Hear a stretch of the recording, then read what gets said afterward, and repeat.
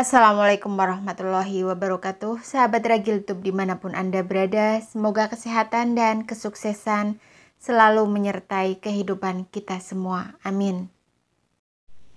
Baru-baru ini pengawas ketenagakerjaan melakukan inspeksi mendadak atau sidak di Bandara Juanda Sidoarjo Jawa Timur pada Sabtu tanggal 28 bulan Januari 2023 pagi hari Sidak ini menggagalkan upaya penempatan 87 calon pekerja migran Indonesia atau PMI atau TKI ya yang akan ditempatkan secara non prosedural ke Timur Tengah, guys.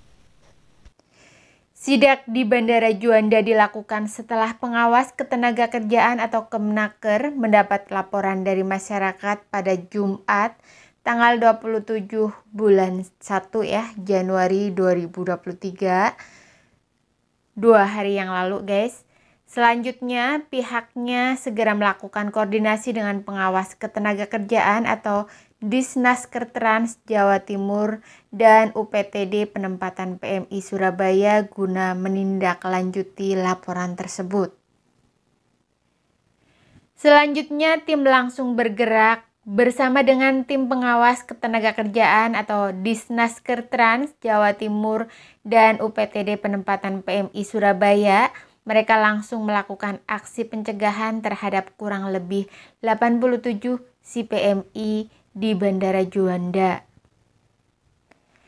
Kabarnya mereka akan berangkat sekitar pukul 8.30 dengan pesawat Lion Air dan Batik Air menuju Malaysia dan Singapura yang diduga akan lanjut ke Timur Tengah guys. Jadi nggak lewat Bandara Soekarno-Hatta ya. Dari Juanda langsung ke Malaysia atau ke Singapura. Dari sana langsung ke Timur Tengah. Jadi nggak lewat Bandara Soekarno-Hatta guys. Hal ini menjadikan Bandara Soekarno-Hatta cukup ketat atas tindakan penempatan PMI secara non-prosedural namun ia menilai dengan semakin ketatnya Bandara Soekarno-Hatta, maka oknum penempatan PMI non-prosedural mengalihkan aksinya ke bandara lainnya. Nah, untuk teman-teman yang pengen bekerja ke luar negeri, ke negara mana pun ya, jangan tergiur dengan janji manis sponsor Anda, guys.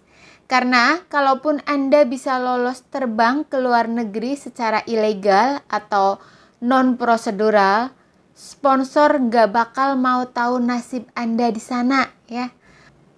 Mau sengsara kek, mau apa kek di luar negeri sana, yang ada di pikiran sponsor itu yang penting dapat duit, guys.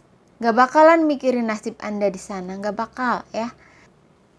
Carilah PJTK ilegal ya, yang resmi, guys. Seperti itu. Nah, segitu aja dulu dan apabila ada kata-kata yang kurang berkenan mohon dimaafkan.